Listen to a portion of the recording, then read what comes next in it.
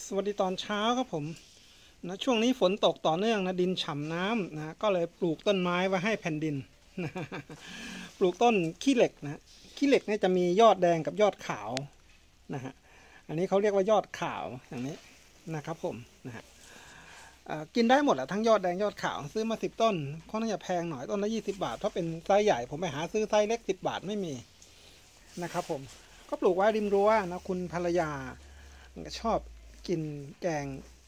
ยอดขี้เหล็กนะฮะก็ปลูกไม้ให้แผ่นดินก็ใช้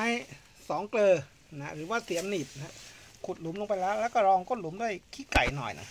นะเอามีดตัดถุงแล้วก็ใส่ลงไปนะขนาดถุงที่เขาใส่เนี่ยกับขนาดของเออเสียมหนีบหรือว่า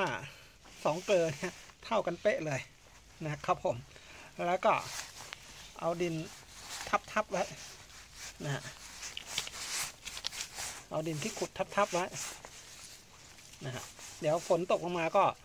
นะฮะชะดินลงไปห่อหุ้มจนแน่นเอง แค่นี้ก็เสร็จแล้วนะการปลูกต้นไม้ให้แผ่นดิน เห็นว่าใช้เวลาไม่ได้นานนะขุดใช้เวลาขุดต้นละประมาณสักหนึ่งนาทีนะปลูกอีกหนึ่งนาที ใช้เวลาสองนาทีก็มีต้นไม้ให้แผ่นดินแล้วครับผม